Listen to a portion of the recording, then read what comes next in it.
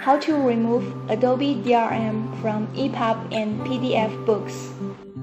Here are the three tools we will need. Calibre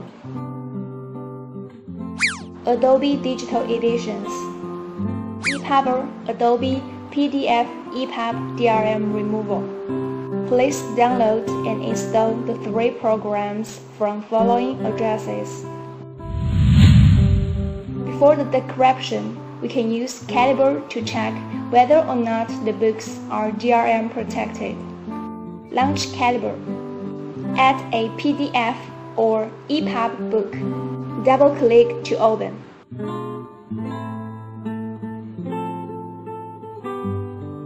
You will find a DRM alert popped. Yes, this book is DRM protected. Now let's get started. Step 1. Read the PDF or EPUB books with ADE. Launch ADE and authorize your computer with your Adobe ID. Click to create an Adobe ID for it if you don't have one. Drag your books to ADE. Make sure you can read them with ADE. PDF and EPUB books that can be opened with ADE will be unable to be decrypted by Epubor PDF EPUB DRM removal. Step 2. Run Epubor PDF EPUB DRM removal.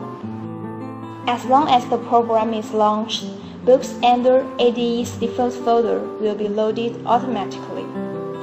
You can also drag and drop to add your books to the program manually. Free trial does not support drag and drop. You can click Setup General to customize the source path. Click Remove DRM to start the decryption.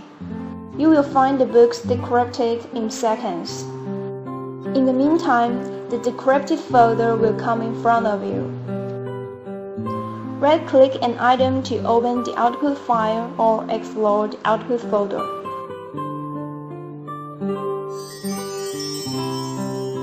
Step 3. Check the results. Add a decrypted book to Calibre and double-click to open.